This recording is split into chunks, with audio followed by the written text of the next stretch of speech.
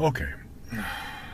Today we are gonna talk about the um, coronavirus and uh, SARS-CoV, SARS-CoV, the COVID virus, and uh, its treatment in media and uh, and uh, in relation to China. First, we're gonna go through some background and some facts, and then uh, the WHO's uh, uh, process of naming the name of the virus, and then how the narrative against China has problems, and then some conclusions and uh, opinions. Okay, first the background and facts about uh, pandemics and viruses. First of all, pandemics have always occurred in human history. It's just a fact, like viruses spread internationally and people get infected and they die.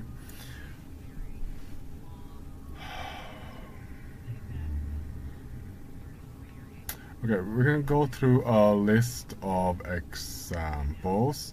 Uh, the first uh, pandemic virus is the one that's currently active, the coronavirus. It occurred in 2019, and yes, it's a pandemic. the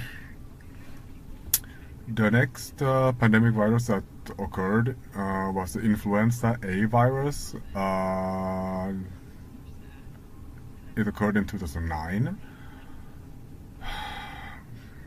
Another human coronavirus occurred in uh, 2002, a pandemic of coronavirus. Uh, then in 1980, the human immunodeficiency virus, uh, the virus that causes AIDS, started to spread. Uh, then in uh,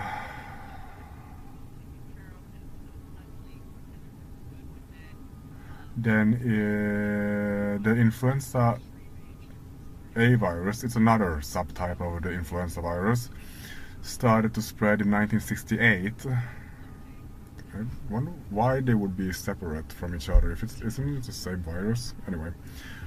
Uh, the cholera uh, pandemic started in 1961. Then another influenza subtype virus spread uh, started spread in 1957, and uh, the so-called Spanish flu, which was also an influenza virus, started to spread in 1918 and started a pandemic also. And in 1899, uh, a cholera uh, pandemic started. I mean, I'll put the rest of the of the pandemics, uh, pandemic outbreaks of viruses in the video info, but it happens. Pandemics happen regularly in human history, and it just happens.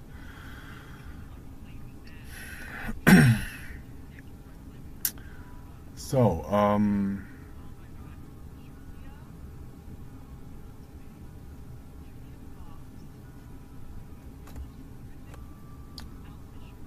I mean, it's a fact that pandemics occur regularly in the world, and uh,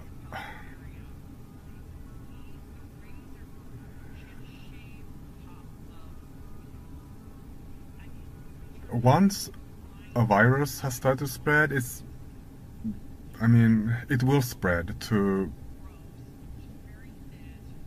very many countries like sometimes even like uh, to every country. I mean, like it, it, it, it just happens. It just happens, and like it just happens. That's just a fact. So uh, we mentioned the Spanish flu that um, was an influenza subtype virus that killed um, that killed a lot of people. I'm. I will put uh, in the video information how many people the Spanish flu, the so-called Spanish flu, killed. But um, this uh, is in relation to like why the WHO, uh, you know, um, why my analysis of why the well, not, only my analysis, but you know, analysis of why WHO started to like uh, promote neutral names for uh, this pandemic virus in particular.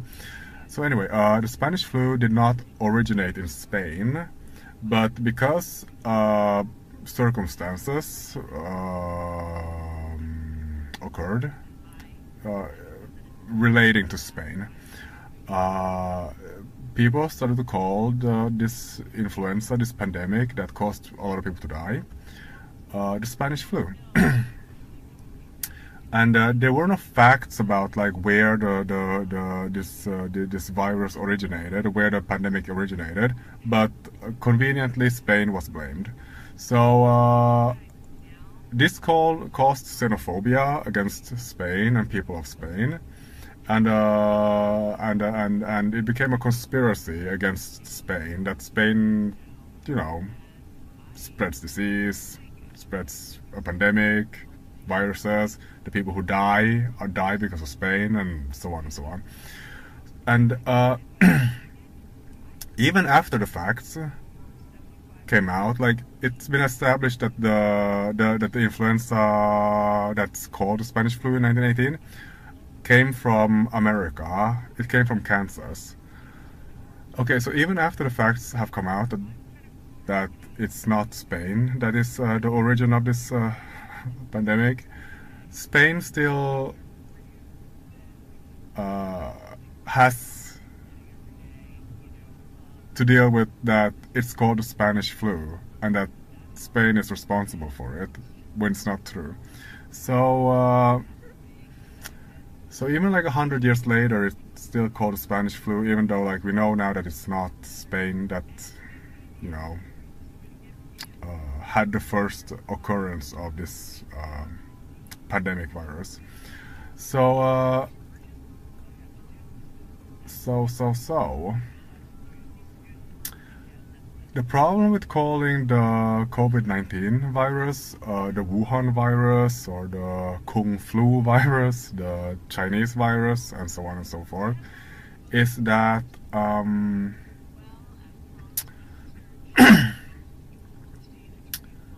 is is that it creates xenophobia against a country and uh, uh, hatred and so on that with or without facts uh, of the origin of the virus hurts that country. And uh, I mean I would say that the that the yeah. And i mean the problem with america and american media that influences world media and especially when trump was president is that america is unfortunately a racist country. It was built on the slavery and mass murder of black people from the start racism from the start. And to spread and propagate the idea of a Chinese virus in uh, American media towards the world in order to like create hysteria and uh, sensation sensational news and clickbaits and so on. Just we know that it creates more racism and more violence. And is that what people want? More racists in america? More violence in america like do we need more of that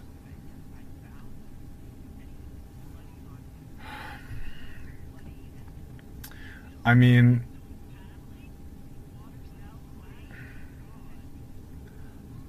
pandemic viruses will always spread like through borders, through continents, everywhere, like generally or often. So even if the virus originated in China, everybody is going to have to deal with this virus at some point. So, uh,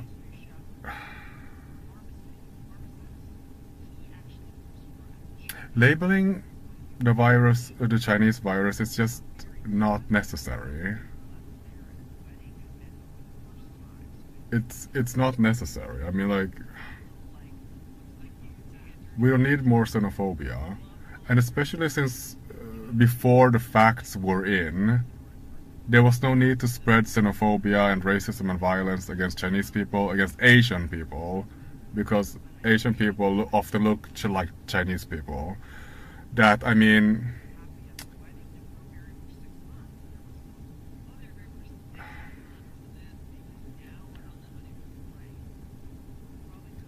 maybe after the fact, a virus can be attributed to a country of origin, but that always creates xenophobia and uh, hatred and conspiracies against that country. So, I mean, and the virus, the pandemic will spread everywhere, like anyway. So I mean, like, uh, is there a point for more xenophobia, conspiracies, and uh, violence? I mean, no, I don't think so. I think that viruses should be labeled neutrally because uh, there are going to be a lot of conspiracies about it anyway. And even after the WHO chose to label the virus uh, something neutral, it still didn't stop the escalation of conspiracies and uh, racism and violence. And uh, Trump, you know, instigated more of that. So I mean, I mean, like I don't. I mean,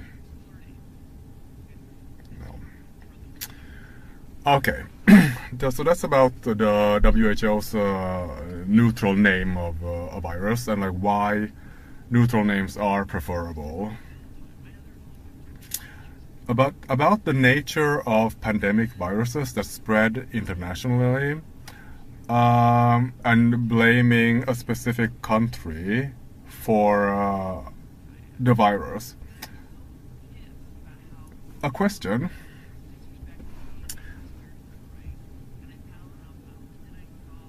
Is it possible for uh, one country to stop the spread of a pandemic virus?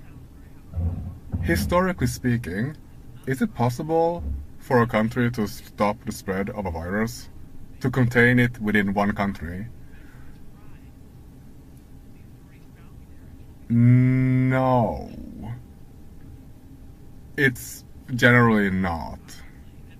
The rule is basically that it's not possible. So, uh, because then it would have happened in history.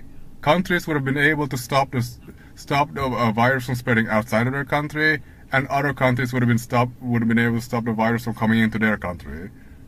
It's not possible. It's not possible. So why would there be this um, assumption that China can stop a pandemic, a pandemic virus? Like how strong or what kind of unknown methods do these um, journalists or politicians think that China has access to to do something that has never been done to stop a pandemic virus from spreading. I mean, China could be thankful that such a ability or attribution is given to China by assumption or blaming China that China should be should have been able to stop it somehow. But no, Pandemic viruses always spread internationally if it's that type of virus. It, it, it always does that. And no country can stop it.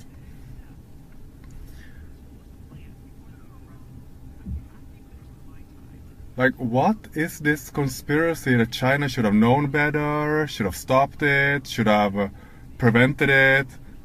When it's not possible. It's never happened in history that a country stops a virus, a pandemic virus. It doesn't happen. A pandemic virus, if it's of that nature, will spread everywhere. It will spread everywhere Well, it, you know, will can spread. The um, common influenza is also a pandemic, but now endemic virus. Can a country stop the common influenza from spreading in their country or to another country? Can any country stop the common influenza from coming into their country one season? Is that possible? So to blame China for a pandemic virus spreading is like uh, saying that countries have been able to stop pandemic viruses from spreading before in history, and that, it's, and that it is a choice to, to, to prevent a virus, pandemic virus from spreading in a country or not. It has never happened before. It has never happened before. So it is a conspiracy to believe that China could have prevented the, the pandemic virus from spreading or uh, to another country or not. It's impossible. It's impossible. It is a conspiracy. It is a conspiracy. Pandemic viruses always spread according to the nature of that virus.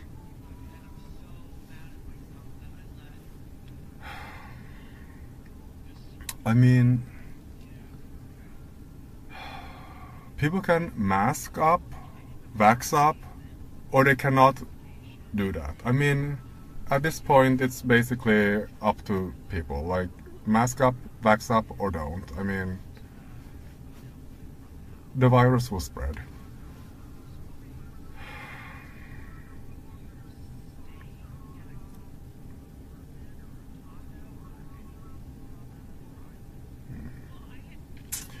Another reason why this uh,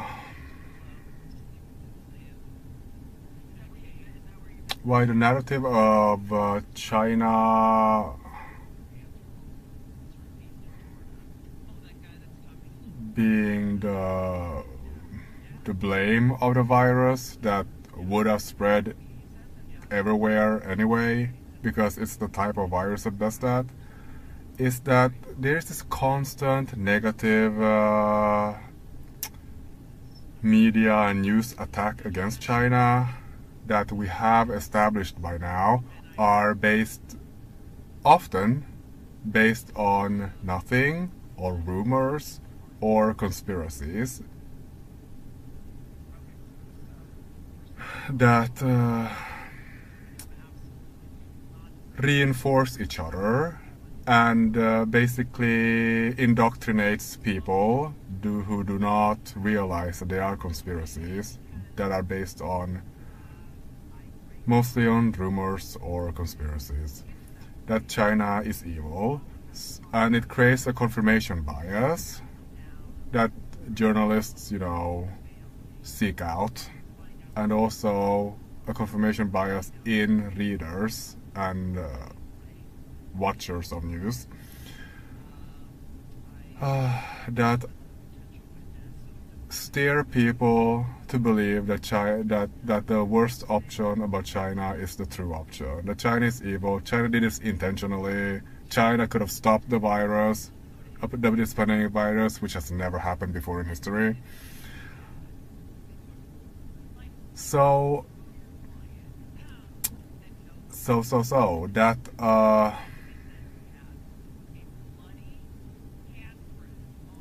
all of the aspects of this China narrative when it comes to the coronavirus, just they just uh, they just um, I mean it doesn't it's like an automatic uh, guilt that uh, is assumed of China. That I mean I mean for example it, uh, it, it doesn't benefit China to, to, to, to, to disclose any information at that point. Because if China is already assumed to be guilty and evil based on all these conspiracies then when it when it when it actually matters for example this pandemic virus then what is the, well, there is no benefit to China to, to, to, to disclose information to share information or anything like that at that point anymore because it's impossible to stop this virus. What is the point of you know giving uh, information that you know that that won't even that won't even you know answer all questions because like who can answer all the questions in a pandemic virus? Like, like who's to know? No, it's impo- it's impossible to stop the spread of this virus. So like like who who like what kind of information would be satisfactory? I mean, people have already died. I mean, it's it's it's basically a little bit too late. And uh, blame and guilt has already been assigned based on confirmation bias. So, uh, so, uh, so that's like that's a that's a problem. That's a general problem with this the constant negative uh, conspiracy-based attack against China. That that when it matters, China won't help. China won't, you know, voluntarily help when China has already been assumed to be guilty. Like, but I mean, this virus cannot be stopped. It cannot be stopped because this is a type of pandemic virus that just spreads like it has spread. It cannot be stopped. It, can, it cannot be stopped like that. So, uh, so.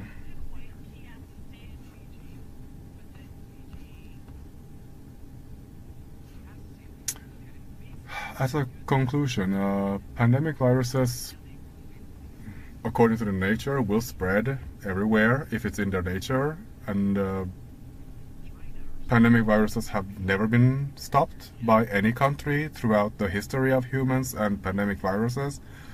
So uh, blaming China for this is uh, basically it's there is no point. There's no point to it the the virus could have originated anywhere and it would have spread everywhere anyway. So uh, it's basically um, problematic narrative to to to attack China for this. It's it's it is a conspiracy to uh, make the assumption and to spread the assumption that China could have stopped it, would have stopped it, when it's not possible to stop this type of virus from spreading.